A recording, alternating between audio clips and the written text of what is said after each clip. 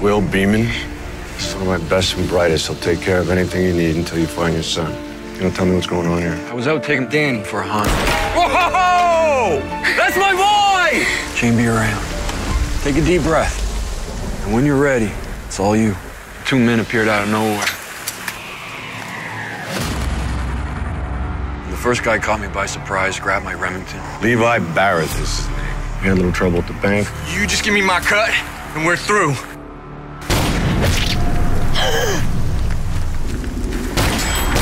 Danny!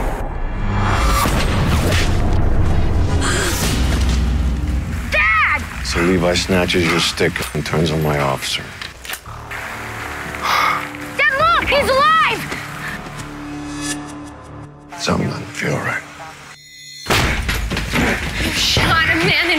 I had no son. choice. He was gonna shoot right with self-defense. Right, I did what I had to do. Now, can you please help this guy before he dies? He say or give anything to you? Like what? He says he knows where my key landed. Please don't do it. Give me that key.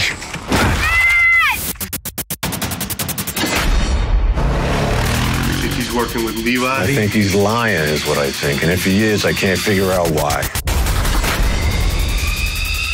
You stay on him. I'll handle Levi. Drop that bag. You're under arrest Oh yeah, what for? for murdering an officer of the law and aiding a bank heist. It's true. I killed Charlie Stetchel, but it was self-defense. Pretty sure that Charlie did the bank job with Levi. I was just trying to protect my son. You have something Levi wants? He insisted I not tell the cops. What was I supposed to do? Tell the cops!